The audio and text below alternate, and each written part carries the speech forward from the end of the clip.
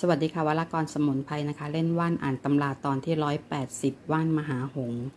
ต้นใบหัวคล้ายต้นขา ดอกออกเมื่อใหม่สีขาวเมื่อแก่แล้วสีแดง ดอกใหญ่มาก ดอกหอม เย็นปลูกไว้เป็นเมตตามหานิยม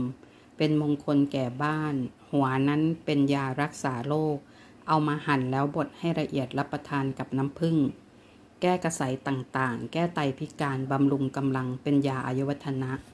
ก็คือว่านมหาหงถ้าจะให้ตรงตามตำราต้องดอกเป็นสีเหลืองนะคะ เอ้ย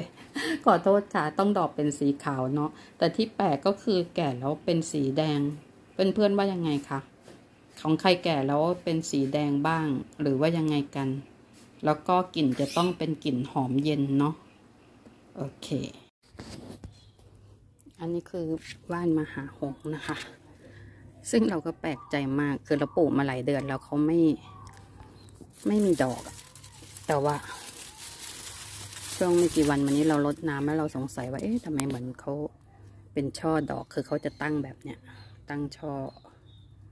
ที่ไหนได้เขาอยากเข้ากล้อง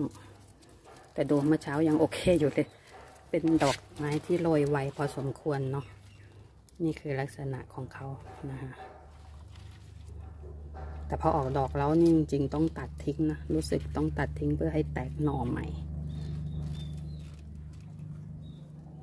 ก็ปลูกเป็นมงคลใครที่ใครที่มีบ้านอยู่ทางแถบอีสานเนาะจะเห็นคนเฒ่าคนแก่ค่ะเน็บดอกมหาหงที่เขาเรียกว่าดอกสเลเตะทัดหูแล้วก็พากันไปไปวัด เป็นวัฒนธรรมที่งดงามมาก ๆ เราชอบมาก ใครรู้สึกถูกชะตากับดอกมหาหงนี้ก็ลองขอเขาดูเนาะลองนึกขอในใจดู เพราะว่าอยู่ๆเขาก็บาน แล้วเราก็ไม่รู้ด้วยซ้ำว่าในหนังสือว่านจะมาเจอ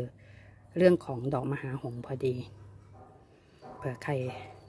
จะมีโชค หรือจะมีดวงถูกต้องตรงกันกับเขา ลองอธิษฐานขอดูนะคะ